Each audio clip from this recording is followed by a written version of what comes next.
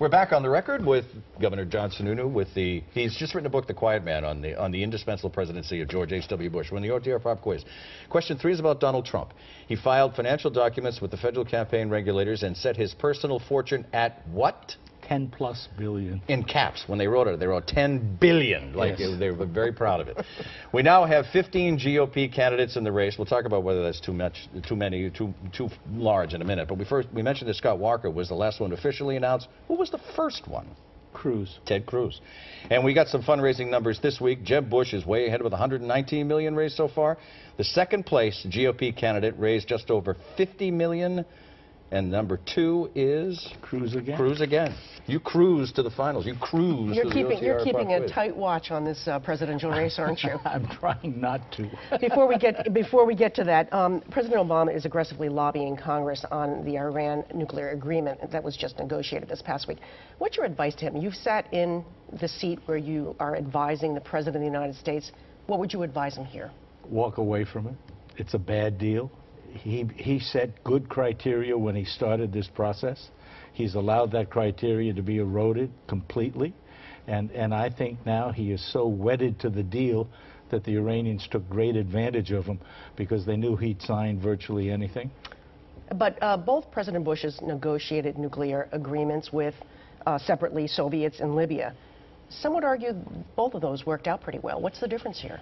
Uh, with Libya, we took everything out of Libya. It wasn't just a negotiated agreement. We got the equipment and all the materials out. So, so it But was. the- isn't more being actually? but it was it was a good conceded? agreement. It- it- there's nothing wrong with negotiating agreements. Negotiate a good agreement. And the president himself, a couple of years ago, defined what a good agreement would be. If he can get it back to that, fine. But he's already walked so far away from it that it's a bad agreement now. And and it's not that he tried to negotiate that's bad. It's that he ended up with a bad agreement. What, what makes it bad in your eyes? Uh, the, it's pretty lax on, on the ins- inspection. Uh, it, it has really a, a process in there which allows, after a reasonably short period of time, some say six months, some say a year, the Iranians to get back on that kick. But worse, the worst thing, in my opinion, is the return of these hundred, uh, hundred billion dollars plus of frozen assets that they're going to use to fund the mischief and the terrorism that they've been funding all along. I really think that, that there should have been a dribbling out of the return of those assets rather than a, a- a very heavy front-end loading that they've done. And what do you say to the argument that it is better to have relations with them now and to be able to talk to them and have an open pathway as opposed to uh, certainty of war? At least that's what President Obama. I don't have any problem with, with, with maintaining relations and trying to get to relations, but don't give up a bad, don't get to a bad deal in order to do that.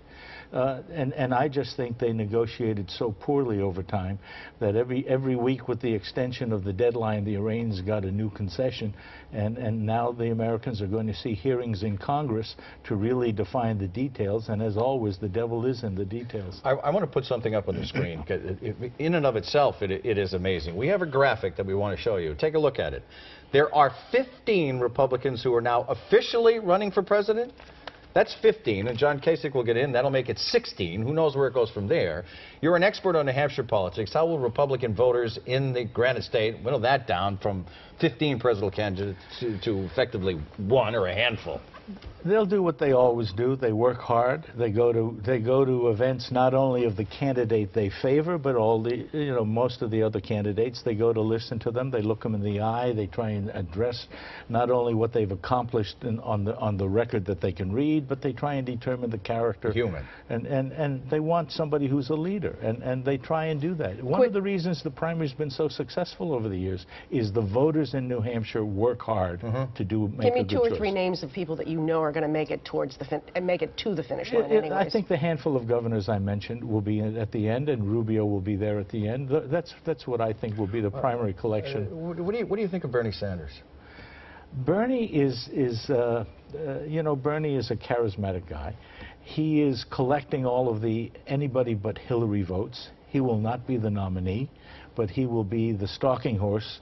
Um, if somebody else, if there's to be a nominee other than Hillary, Bernie is the stalking horse for either a Biden or a Kerry. Can he make a sizable dent um, on her campaign in, Oh, in sure. New Hampshire? Oh, in sure. New Hampshire. In New Hampshire? Yeah, he can Could he get her. over 10%? Oh, I think Bernie, In the primary. if it was held right now, I think Bernie would get 15%, 20% on the Democratic primary. Governor, it's, it's always great to have you with us. I, want to put the book right out here in front so you can see the book one more time. Look, look- at it, it even stands up on its own. It's The Quiet Man, the indispensable It's a presidency. Republican book, that's why. really? What a shock. the indispensable presidency of George H.W. Bush. Thank you, Governor Sununu. Great Thanks to see you. It's always me. great having you on the show. Janet. Thank you. Our continues in just a minute.